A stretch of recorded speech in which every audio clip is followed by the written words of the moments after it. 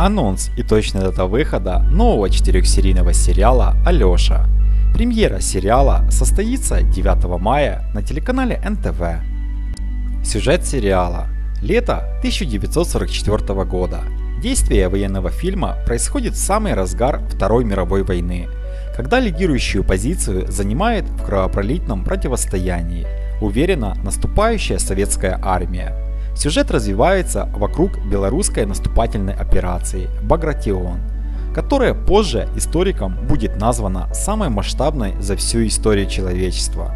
Она сыграет одну из важных переломных моментов в этой войне, если учесть, что силы в этой борьбе были совсем неравны.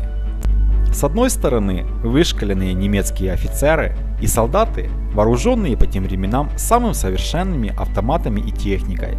Для них достижение цели – это полное уничтожение ненавистного врага.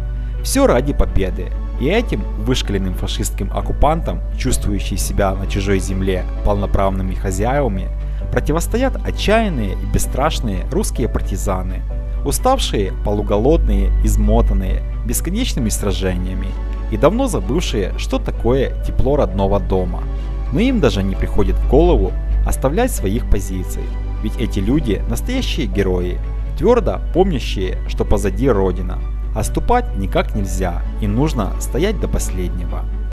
Напомним, премьера сериала «Алеша» состоится 9 мая на телеканале НТВ. Нравятся российские сериалы? Тогда ставим лайки, подписываемся на канал, жмем на колокольчик, чтобы быть в курсе последних новостей о новых российских сериалах. Спасибо за подписку и лайки.